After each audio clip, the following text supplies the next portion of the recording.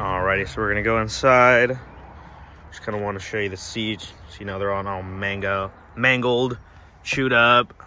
Same thing with the steering wheel, good condition. The seat as well. Back seats, carpets are solid. No crazy smells in here either, so there's no cigarettes or dogs or anything crazy like that. All these buttons are working. You got your trailer brakes right there. Seats in great condition. No cracks on the dash.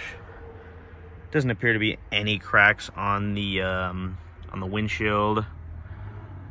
And then here, I'll just start it up for you real quick.